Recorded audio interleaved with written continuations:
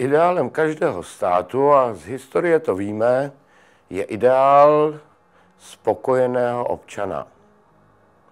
Rozumí se tím tvor, který je uspokojen ve svých základních potřebách, který příliš neuvažuje, který chce být veden a baven. Tak jako všechny obory v průběhu 20. století i obor nakládání s člověkem, který má být veden, byly velmi sofistikovány. Prostředky jsou velice rafinované.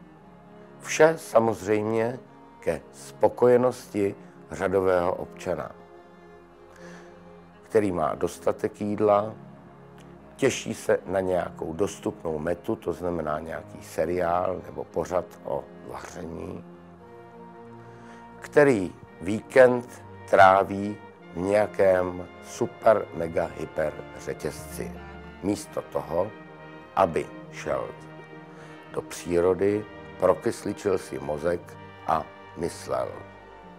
Myslím, že myslet, domnívám se, že myslet není nejen nic špatného, ale že je to přímo povinnost občanů. Znamená to vzít svůj osud, jakož i zodpovědnost za věci, na nichž mi záleží, do vlastních rukou.